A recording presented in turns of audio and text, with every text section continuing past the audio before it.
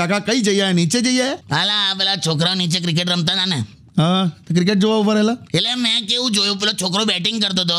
હા. તો નતા એના પચાસ રન થયા કે નતા એના સો રન થયા તોય એણે આમ હેલ્મેટ ને પેલું ગ્લોવ્સ ને આમ બધું કાઢ્યું બેટ અદ્ધર કર્યું. તો મેં કીધું લે હજુ તો તારા તેત્રીસ રન થયા છે તું શેનું આવું બધું કરે છે? હા. તું મને કે કાકા તમે બારમામાં હોત ને તો તમને તેત્રીસની વેલ્યુ ખબર પડત. હાલા. હું સમજી કહું કે આ માંડ પાસ થયો છે.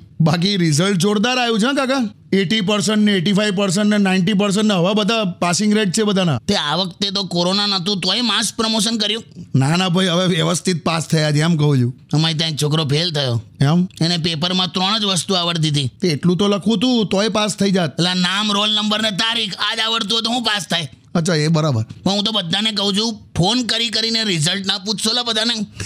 હાલા ખરાબ લાગે. તો જે સારા ટકા આયા હશે એ તો હમેથી કહેવાનો જ છે. કરેક્ટ અને જેના નથી આયા એ હેરાન ના થશો બેટા. મોટા ભાગે મેં જોયું છે. હું. સૌથી આગળની પાટલી પર બેસનારા બધા નોકરી જ કરે છે. અને પાછલી પાટલીવાળા બધા બિઝનેસ કરે છે. સાચી વાત છે. આગળની પાટલી પર બેસનારા વિદ્યાર્થી દરેક પ્રશ્નોના જવાબ જાણતો હોય. હા. પાછલી પાટલીવાળા દરેક પ્રશ્નોનો સામનો કઈ રીતે કરવો એ જાણતા હોય. એટલે ચિંતા નહીં કરવાની મહેનત કરો ભવિષ્ય સારું જ છે. વડીલ બોલ્યા વડીલ. તને આ બોલું લા કઈ નહીં. અત્યારે બધે નોકરીઓમાં ઇન્ક્રીમેન્ટ ને પ્રમોશન ને બધું ચાલુ થઈ ગયું છે. તો આમાં પણ બારમાના રિઝલ્ટ જેવું જ છે માસ પ્રમોશન નોકરીમાં ના હોય એવું. તો તને મળ્યું પ્રમોશન કે ઇન્ક્રીમેન્ટ એવું? હજી કઈ આવ્યું નહીં. ભાઈ હવે મળશે ને શાસન મળશે તને ખાલી આશ્વાસન મળશે. એવું થોડું હોય? એવું જ હોય ભાઈ બધાને અલગ અલગ બધું લાગતું ઓળખતું આપે. એમ. અમુકને એવોર્ડ આપે અમુકને રિવોર્ડ આપે. અમુકને ઇન્ક્રીમેન્ટના લેટર પકડાઈ દે તો અમુકને હાવ ચોકલેટ પકડાઈ દે. પણ અત્યારના સાહેબો સ્ટાફને આમ મોટિવેટ કરવા ઘણું કરે છે હા. હા એપ્રિશિએટ કરે પીઠ થાબડે. આખા સ્ટાફ વચ્ચે એવોર્ડ આપે શિલ્ડ આપે. તમને નોકરીમાં ક્યારે કોઈ શિલ્ડ મળ્યું છે? મને શિલ્ડના નામે ખાલી કોવિશિલ્ડ મળ્યું છે લા, બીજું કંઈ નહીં મળ્યું. પણ નોકરીમાં એક વસ્તુ મેં જોઈ છે કાકા. હમ અમુક એકદમ સેલ્ફ મોટિવેટેડ હોય અને અમુક તો પગારના દિવસે પણ આમ દિવેલ પીધેલો ફરતો હોય. પણ પગાર આવવાની ખુશી કરતા હપ્તા ભરવાના દુઃખ વધારે એટલા. હું તો કહું દરેક પરિસ્થિતિમાં ખુશ રહેવાનું. એમ. હા ચલા તમને રવિવાર ના ગમતો હોય તો મિત્રો બદલો અને સોમવાર ના ગમતો હોય તો વ્યવસાય બદલો. વાહ વડીલ આજે તો વડીલ. પેલા તું ઘેર જતો રહેલા. હું આંગળીઓના ફોટા જોઈએ આંગળીઓના ફોટા નહીં જોતો. આજે એ લોકો વોટ આપીને આવ્યા છે ને એમના ફોટો છે. આ ફોટા જોઈને એટલો તો મને ખ્યાલ આવી ગયો કે લોકો પાસે નખ કાપવાનો ટાઈમ નહીં હા પણ માંડ માંડ આ પ્રચાર પ્રસાર પત્યું નહીં. બપોરે હુતા હોય હા. એકદમ માઇક ચાલુ થાય. કોઈ દિવસ ઉમેદવારનું મોઢું એ ના જોયું હોય અને પેલી ફરતી રિક્ષામાંથી હું બોલે? સાંભળો સાંભળો સાંભળો. તમારા વિસ્તારના લોક લાડીલા ઉમેદવાર કોણ પણ ક્યાં રહે છે? પણ આ- વખતે નવા ઉમેદવારો બહુ બધા આવ્યા છે ખબર છે? આ નવા ઉમેદવાર એકદમ જો જીતી જાય ને તો સૌથી પહેલાં તો એના ગામમાં ક્રિકેટની ટુર્નામેન્ટનું જ ઉદ્ઘાટન કરે. પછી નવરાત્રી ઉજવી કાઢે ને ફટાકડા આપી દે ને એવું બધું. પહેલું વર્ષ તો ખબર જ ના હોય કે આ લોકોએ શું કરવાનું હોય.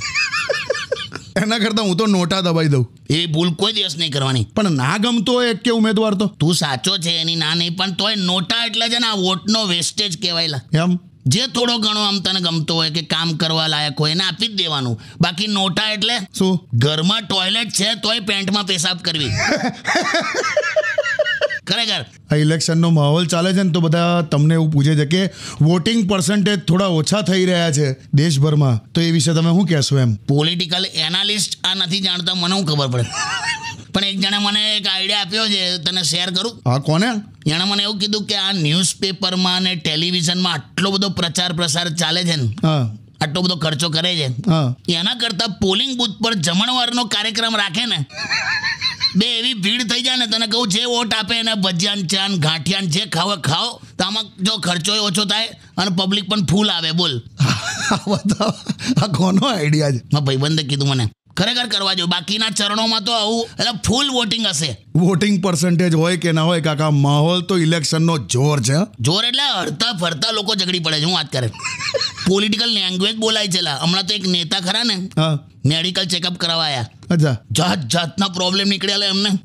વાસ્ક્યુલર પ્રોબ્લેમ ને કાર્ડિયાક પ્રોબ્લેમ ને ન્યુરોલોજીકલ પણ હવે ડોક્ટરે નેતાને એની ભાષામાં સમજાયું હું? કે સાહેબ તમારું બ્લડ પ્રેશર કૌભાંડની જેમ વધી રહ્યું છે. ફેફસા ખોટા આશ્વાસન આપે છે.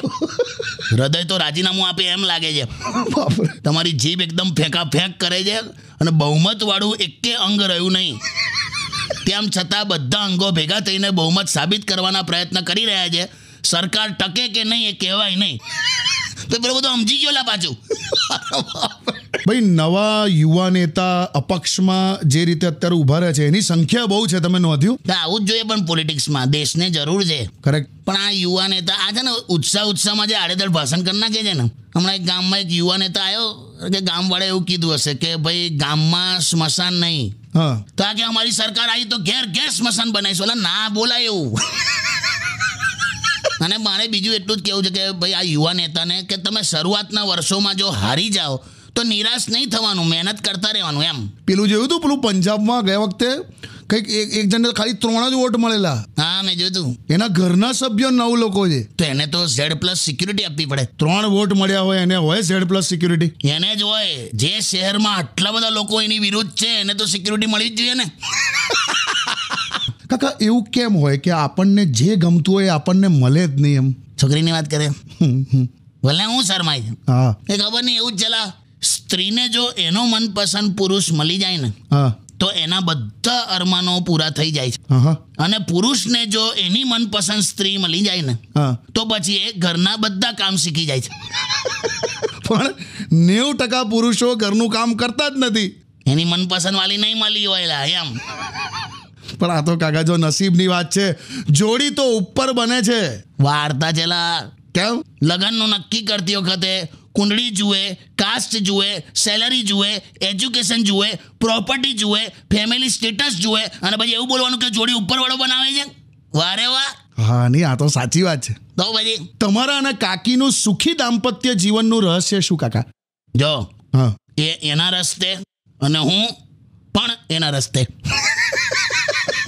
જોત જોતામાં અડધું વેકેશન પૂરું થઈ ગયું અને અડધું બાકી છે. બસ એ જ આશા છે કે અડધું બાકી છે. એમ છોકરાઓને વેકેશનનો આનંદ અલગ હોય અને પરણેલા પુરુષોને વેકેશનનો આનંદ અલગ હોય. એવું હોય? હમ આ પિયર જાય અને ઓલી પિયર આવે.